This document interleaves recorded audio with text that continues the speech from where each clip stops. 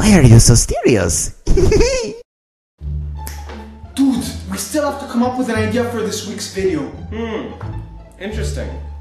What about a flying talking book? How's it going, yeah? Man, that is the stupidest idea I heard this week.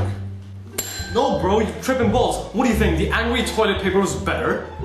Steven, sit down. We have to talk. Hell yeah! Hmm, I think you are actually right. What about a flying monkey?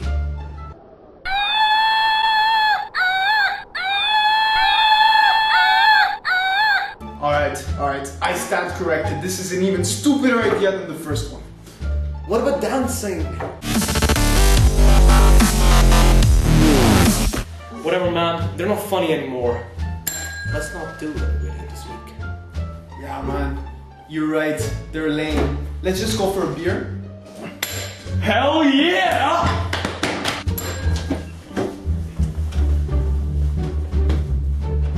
The end.